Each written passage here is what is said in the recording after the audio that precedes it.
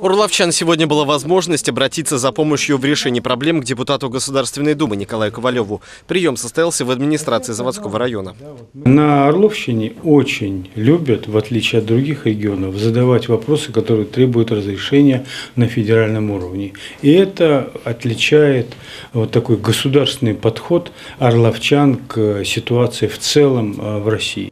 Жалобы на завышенную стоимость услуг ЖКХ, на бездействие управляющих компаний и многие другие были не только озвучены, но и отчасти решены на месте. Другие, что требуют более тщательного рассмотрения, депутат взял под личный контроль.